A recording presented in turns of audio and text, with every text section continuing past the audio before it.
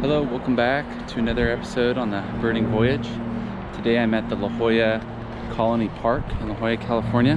Here with my daughter Amara. Hi. So we can see a few birds and find the ones we're looking for. Black Phoebe. It's an orange crowned warbler. Oh.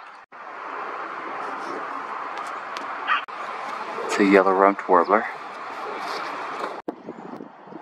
It's a cedar waxwing. It's an Allen's hummingbird. Mourning dove. It's an American crow.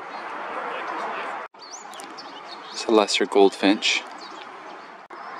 Dark-eyed junco. Song sparrow.